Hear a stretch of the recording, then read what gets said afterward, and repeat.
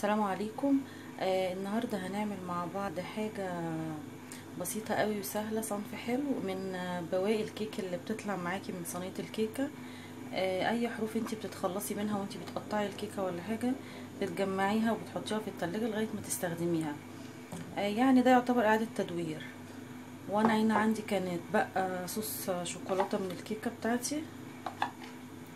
ومعايا شوية جوز هند. وهنا في طبق هطلع عليه اللي هعمله. هرشه كده آه كاكاو خام علشان ما يلزقش. نسمي الله وندخل في الطريقة على طول. آه دي قوالب الكب كيك الصغيرة خالص. هقدم فيها آه بوبس الشوكولاتة لما هقدم.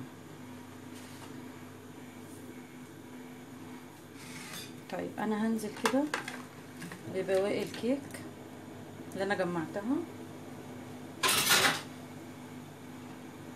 تمام. وهنزل بجوز الهند.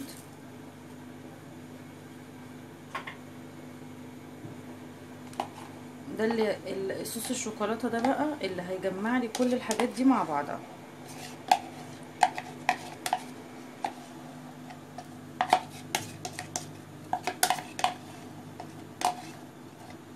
تمام كده الفيديو هخلط بقى ده كله في بعضه وارجع لك. خلاص أنا لميت أهو بالمنظر ده كده. هبتدي بقى أدورها كور صغيرة وأرصها هنا على الكاكاو البودرة ده عشان تمسك ما تسيحش وهقولك هنعمل إيه. كده أنا خلصتها. حطيتها على الكاكاو أهو. ابتدي بقى أحركها في الكاكاو كده علشان تتغلف بيه.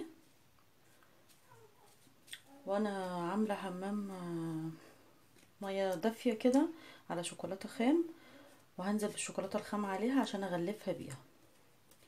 وأوريكي هنعملها إزاي. خلاص كده هغلفها أهو. الشوكولاتة كده واخليها في نفس الطبق ده عشان هدخلها الفريزر تجمد. كل واحدة كده تنزل الشوكولاتة عليها.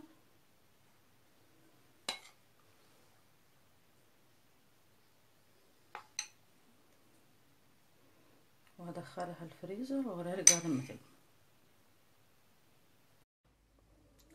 خلاص كده أنا طلعتها من الفريزر.